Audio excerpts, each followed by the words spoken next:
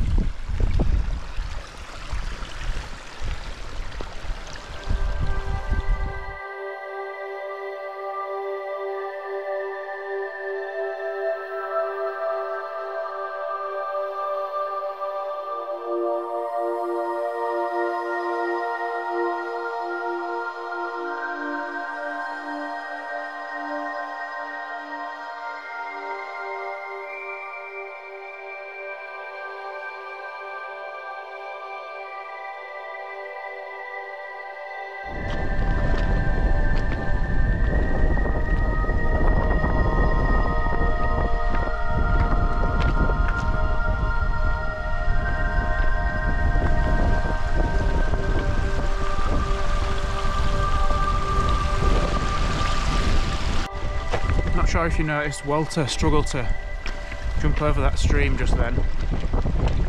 He actually injured one of his back legs a couple of weeks ago. I thought he was healed, but he's obviously not quite Lake District fit yet.